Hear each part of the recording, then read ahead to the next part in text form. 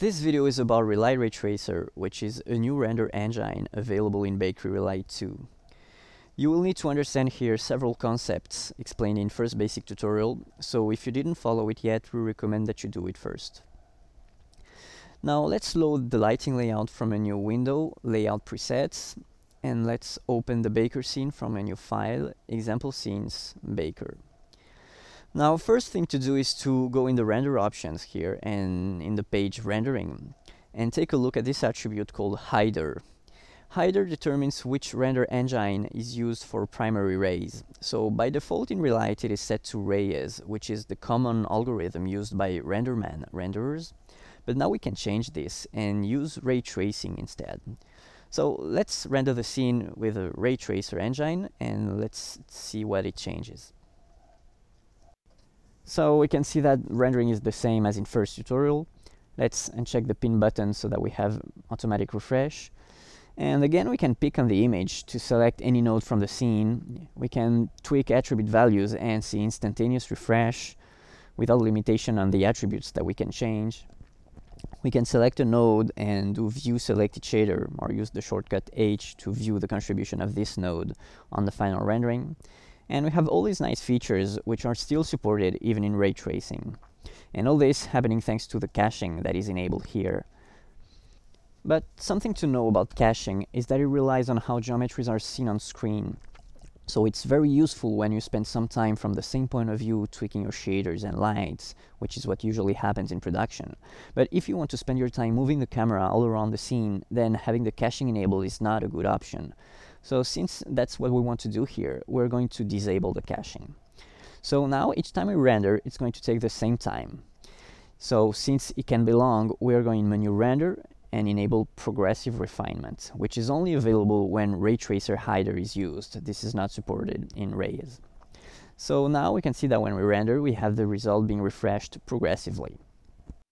Now let's move the camera. We could do it from the 3D view, but here I'm actually going to close the 3D view and I will do everything directly from the render view. Because by default, when you manipulate your image in the render view using the Alt key, you move it in 2D. But if you switch to View 3D Manipulation, then you start manipulating the camera in 3D as if you were using the 3D view.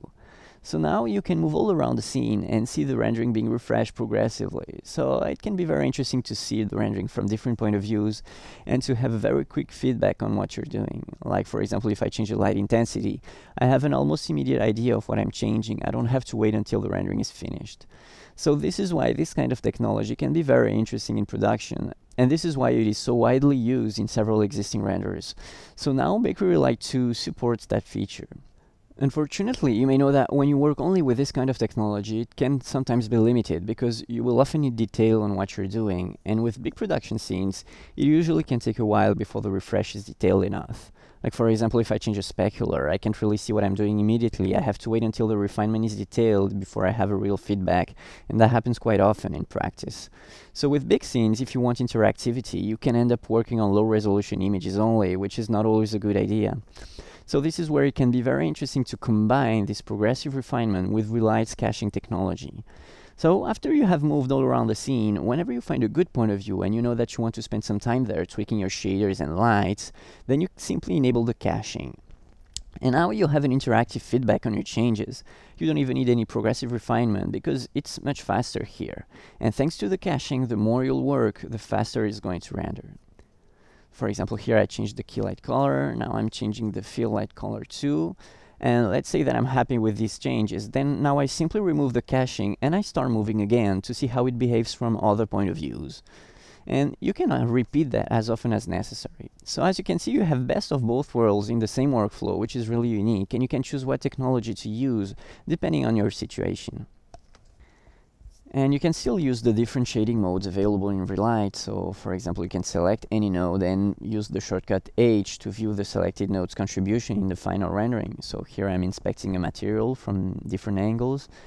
Now I'm also inspecting a bump texture, so I can zoom in to make sure that it's projected correctly.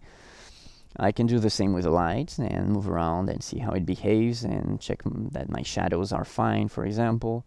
I can use the menu shading, diffuse albedo, or use the shortcut D. So this is showing me the color of the nodes. So it can be useful to to check that the textures are fine. I can also use the basic shading mode with shortcut B. So basic shading simply skips the material evaluations, which is usually the longest part of the rendering. So it's very fast and you just see the geometries. So it can even be useful to move your camera or make sure that geometries are, are fine. So you still have all these shading modes uh, with or without caching. Okay, now let's talk about anti-aliasing settings. Usually in a ray tracer you have an attribute that controls the amount of rays per pixel. And here in the render options, this attribute is the pixel sampling. It is set to 3, so we have 3 squared, so 9 samples per pixel. But we also have this other attribute here, the shading rate. And RenderMan users know this parameter. It's often called tessellation rate, and it controls the size of micropolygons. So you may be wondering what this attribute is doing here in ray tracing. Actually, Relight can do micropolygon ray tracing. This technique allows to have in a ray tracer several of the benefits usually reserved to RenderMan users.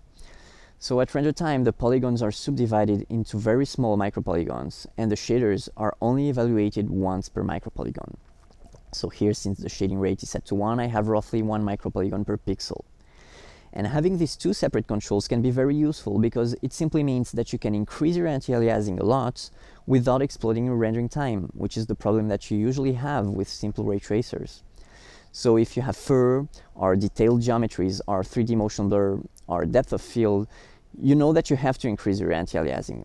But here, all the costly evaluations, so the materials, lights, shadows, possibly global illumination, ambient occlusion, glossy reflection, all this will only be computed once per pixel here, so it will still, be fast. So for example, if I set the shading rate to a big value like 10, my anti-aliasing doesn't change, but my shading gets blurry because my micropolygons are bigger, and it's faster, of course. On the other hand, let's come back to a shading rate of 1. If I set the pixel sampling to 1, my shading doesn't change, but I get aliasing issues at the edges because I have only one ray per pixel. Now let's see an example. I, let's enable motion blur. And here my camera is parented to a turntable animation, so the motion blur will show like a rotation movement. And let's exaggerate this movement by setting the blur length to 4. So now I have this huge motion and I have a lot of grain, which is normal since I only have one ray per pixel. But now if I increase the pixel sampling to 5, I'm having 25 rays per pixel, which is enough here, but my rendering times are still fast and you can see I can get a smooth motion blur without grain, which can be hard to get with the usual ray tracers. And you can also notice that here my motion blur is perfectly circular, which is one of the advantages of our ray tracer versus Reyes hider. Because in Reyes we would see a linear motion here, but in ray tracing we have a perfectly circular motion. We, we don't even need multi-segment motion blur. Okay, now let's remove the motion blur and let's zoom on this French baguette. So by inspecting the geometry, we can see that it needs some smoothing here. So the usual way to arrange that is to change the smooth level. So you can do that by right-clicking on SubDiff presets, and then you have a list of different values for different situations like uh, OpenGL or ray tracing or point clouds. And this cell here is for ray tracing, so it's set to 1, and we can increase that value. But another way to arrange that is to change the tessellation mode here from fixed to micropolygons. And now the, the, subdivision surface is going to be evaluated for each micropolygon. So we have a fully smooth surface. We don't even need a smooth level, it's just perfectly smooth. So that's one of the, of the advantages of uh, having micropolygons. Another one is displacement. So now let's focus on the character's hat. We can see that it has some bump and we want to replace it by displacement. So uh, let's first select a region. We can either right click and choose region selection, or if we don't want to change the selection mode, we can simply press space and then drag the mouse to select the region we want. Now we don't need the shaders, so we simply display the basic shading using shortcut B. Okay, now let's switch the shading tree from material graph to full graph so we can see everything connected to the geometry node. And we can right click and create a displacement node. Now we remove the connection from the bump texture to the bump attribute of the material and we connect it to the displacement. And now we connect the displacement to the tessellator and now we can see the displacement in the render view. So it's really huge. You need to decrease the amplitude of displacement. So we can use the slider here and change the, the amount of displacement using the attribute scale.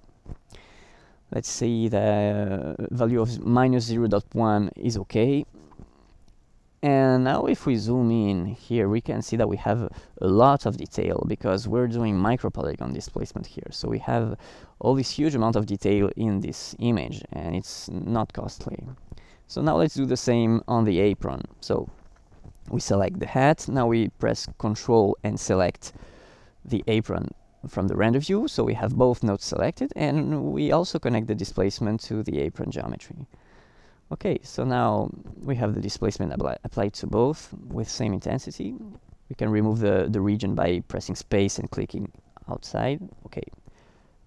So now we have our rendering done. Uh, we had this micropolygon displacement. We had a perfectly smooth subdivision surface. And we could decorrelate the anti-aliasing from the shading rate. So all these advantages that you usually have with Reyes rendering, now you can have them in ray tracing too. Well, you may have noticed that I didn't speak about indirect illumination here, and maybe you think that when you use the ray tracing mode, you, you have to do everything in ray tracing, but it's not the case actually. You can do it if you want, but you don't have to. You can still use all these options that have been shown in the first basic tutorial. You can use point clouds for global illumination or ambient occlusion, or you can switch to ray tracing. You can use shadow maps, like in the scene by default, or you can switch to ray tracing or you can even use point clouds for soft area lights. Actually, we provide you all these technologies, and instead of choosing for you which one is the best, we let you decide the one you want to use depending on your situation. So today in most situations, the ray Reyes hider remains faster to render than the ray tracing, but the ray tracing has the advantage of supporting progressive refinement. So it's up to you to choose which one you prefer depending on the situation, and you can even switch from one to another by just changing this attribute hider in the render options. You don't have anything else to change. So you really have both workflows in same application. And there exist a few situations where ray tracing can still be much faster than Reyes, and a typical example is instancing, because having millions of instances is something that doesn't scare any ray tracer, um, because it's very easy to handle, but a RenderMan renderer will require to have level of detail, or the scene may even be impossible to render. You can find an example here in menu file, example scenes, lion's crowd. So in this scene, what we had as an input was a simple lion mesh. Then in Relight, we have created procedurally some fur over this mesh. So some short fur for the whole body and then some long hair for the lion's mane. You will find a tutorial about hairstyling in Relight in the release. So here lion has around 400,000 hair strands. Then we created a huge plane and we made instances of this lion. So all this was done procedurally in Relight. And we also added some grass using fur so this scene has around 2 billion and a half hair strands. And as you can see, it's rendering quite quickly. Here in my dual quad core, it's around a minute in 1K and without any level of detail. So here the hider has already been set to ray tracer because in Reyes this would be much longer to render and you would surely require some level of detail. So whenever you have such scenes or uh, like forest or lots of instances, then uh, using ray tracing can be a good choice. So since you just have to change the hider to test it, it can be a good choice and it's useful to have both options in same application.